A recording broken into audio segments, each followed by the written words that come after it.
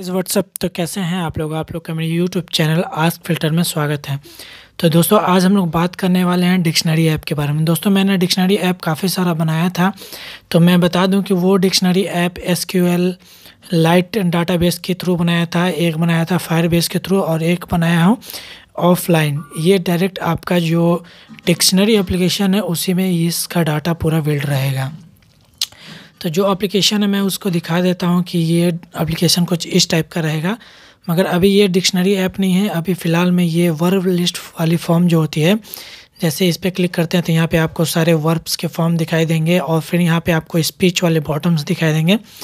तो ये एक तरह से अगर डिक्शनरी ऐप बनाना चाहते हैं तो इसमें से आपको बस ये तीन पोजीशन हटा देना है, जो है, बस इसका मीनिंग रखना है। तो ये डिक्शनरी एप्लीकेशन इस टाइप का बन जाएगा, मगर मैं एक्चुअल में अभी वर्फ के फॉर्म बना रहा हूँ।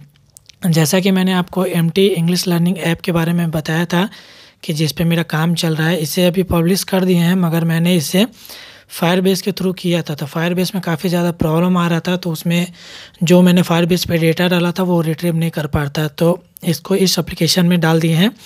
एस क्यू एल डिक्शनरी यहाँ पर डाल दिए हैं। इसमें आपको इंग्लिश लर्निंग ऐप में। फिर आपको यहाँ वर्ब्स के फॉर्म में सेम जैसा कि मैंने वो वाला दिखाया था कि यहाँ पे आपको वर्ब के बहुत पंद्रह सौ से ज़्यादा वर्ड्स मिल जाएँगे और इसमें आपको डिक्शनरी में छियालीस हज़ार से ज़्यादा वर्ड्स मिल जाएँगे। तो ये करने के बाद यहाँ पे और भी लेसन्स ऐड कर देंगे और फिर कन्वर्सेशन तो इसमें आप अगर इंग्लिश सीखना चाहेंगे ना, इससे आप आसानी से सीख पाएँगे।